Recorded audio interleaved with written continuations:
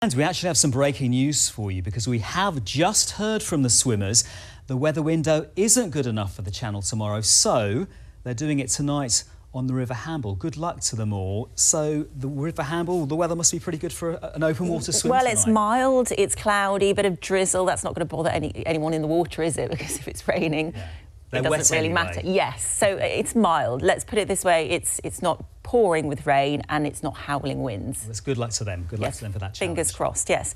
Let's take a look at your lovely weather pictures. John and Jean sent us this picture of the sunrise this morning in Selsey. And uh, Martin Perry captured the cloudy skies over Colwell Bay on the Isle of Wight. And Robbie Forrester Ady photographed this scene at Kingston Common near Ringwood. So today we had generally cloudy skies in many places, but we did see a little bit of blue in the sky in Oxfordshire and other places as well. This picture was taken by Tracy T, one of our weather watchers. Tomorrow's a decent day. We've got lots of sunshine on offer, blue skies overhead, some patchy cloud, and it will be breezy but not as windy as today. Today we saw wind gusts of up to 40 miles per hour. Patchy rain is possible through this evening and overnight tonight. That cloud will sink its way southwards. It's a weather front. It will disappear, so the skies will clear behind and temperatures will range between 8 and 13 degrees. Quite a mild night to come in general. A breezy night though. The breeze is strong as today, but it's coming in from the northwest, and that means we're going to see a lot of sunshine during the day. There will be very high pollen levels and also very high UV levels during the course of the day. Lots of sunshine, some patchy cloud building in at times, with a high of 19 to 20 degrees, so temperatures are still above their seasonal average. Here's the coastal forecast tomorrow between Selsey Bill and Lyme Regis. The winds are west or northwest, 3 to 5, veering northerly, 3 or 4, becoming variable, 3 or less later, and the sea state is smooth or slight.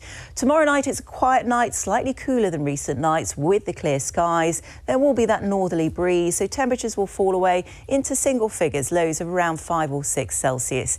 We start Saturday with a good deal of sunshine, but as the day progresses with that northerly breeze, we'll start to see a little bit more cloud bubble up through the course of the afternoon but it should stay mainly dry. And temperatures are in the high teens, possibly up to 20 degrees in some places. So pleasant on Saturday, but feeling a lot cooler as we head into Sunday. Sunday, we're expecting cloudier skies, some bright and sunny spells, but also the chance of one or two sharp showers at a high of just 14 degrees. It's still quite a cool day on Monday next week. We're looking at some showers dotted about, maybe some patchy rain, but also some sunshine in the morning. As we head through next week, temperatures start to recover back up towards 19 to 20 degrees. The average for May is 16 Celsius, so temperatures on Sunday will be below, below the seasonal average. David.